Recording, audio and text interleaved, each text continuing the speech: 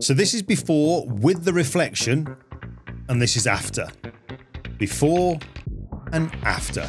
That is crazy. So another of the updates that Adobe have just made available in Photoshop is reflection removal.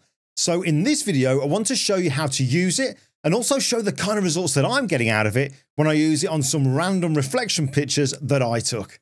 And just to point out, this brand new technology is available in Camera Raw, so you access it through Photoshop or through Bridge. It's kind of in the beta format, so not the final shipping version, but that said, the results I'm getting are already very impressive. Okay, so the first thing to mention is that this currently works on RAW files only. However, looking at the Adobe blog, you can see that there are plans to support non-RAW file formats too. Now, before we can get started, just make sure that you have technology previews turned on in Camera Raw. To do that, have an image open in Camera Raw, then go to the top right hand corner, click on the gear icon, come down to the technology preview section and put a tick in the checkbox there. Click OK and then restart Photoshop. So here's a few random photographs that I took just to try this out. Nothing glamorous, just a few reflections that I noticed. Obviously these are all raw files, so I'll open them all up in Photoshop, which, because they are raw files, opens them directly in Camera Raw, which is where we find the reflection removal within the remove section. So first of all, we have this photograph of a painting that I have of Spitfires flying over the white cliffs of Dover. And this is also signed by several World War II Spitfire pilots. You can see the very obvious reflection in the glass with the ceiling light shade, and this here is a reflection of one of the sound panels that I have hanging from the ceiling as well. So to remove the reflection, we come to the distraction removal and simply put a tick in the reflections checkbox. And that's it. It then takes several seconds to analyze the image and then eventually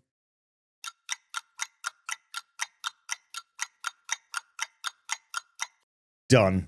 I mean, look at that. Completely removed the reflection. Incredible. While I'm here, let's just sort out the perspective by going to the crop tool and then geometry, and I'll drag out some guides.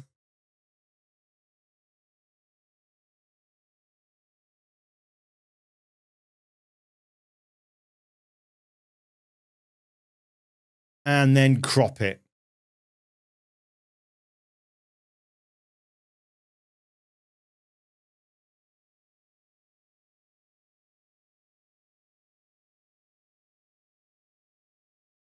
And use auto settings to give it a quick edit.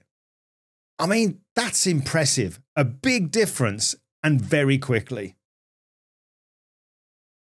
Now, just a few things to mention here. First of all, this is using AI, but not generative fill.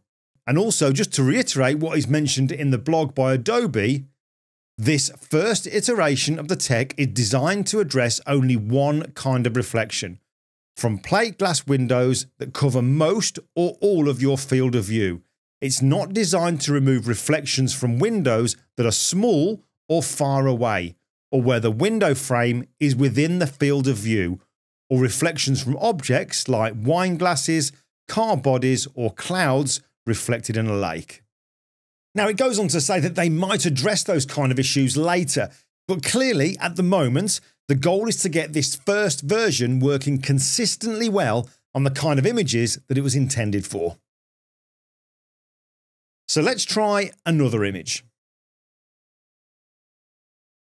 This here is a photograph looking out onto part of our vegetable garden and fruit cage to the left. You can clearly see the reflection on the glass of the window I was photographing through. So let's give it a try. I'll simply tick the reflections checkbox and wait a few seconds.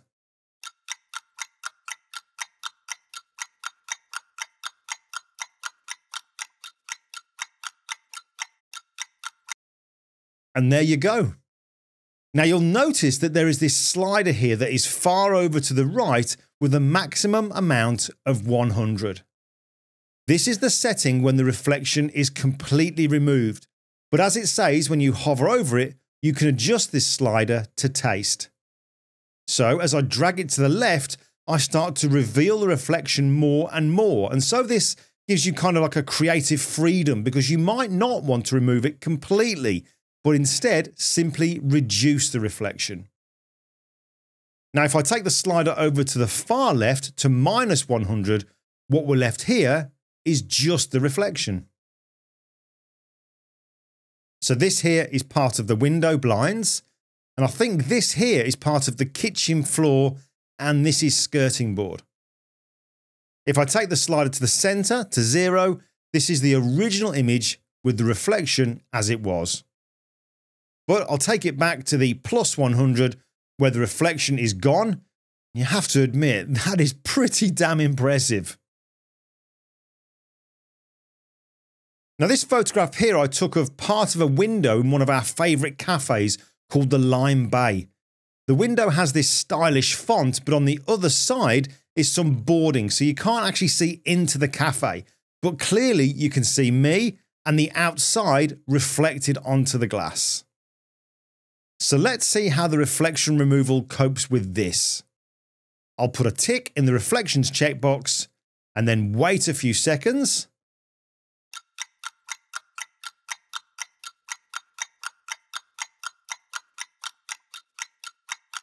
And done. Check that out. There's maybe a little left just here, but I'll just grab the remove tool and brush over that area, and that's gone. Now I'll go to the edit section and choose auto. Look at that. It's just magic. All right, last one. Let's see how it removes this reflection on this glass splashback behind the cooker.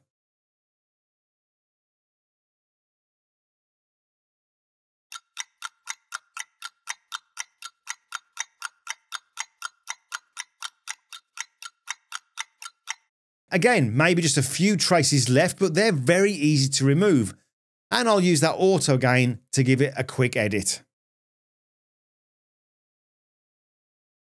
Now, I've added a link in the description of this video to the blog post that Adobe have put together about this technology. It's definitely worth having a read of because it kind of explains a lot of the behind the scenes thinking and the challenges about this new technology. But I think it's fair to say that for a first version and on the kind of image that it's been designed for, at the moment, the results can be very impressive. I find myself saying this a lot lately, but exciting times. I'll catch you in the next video.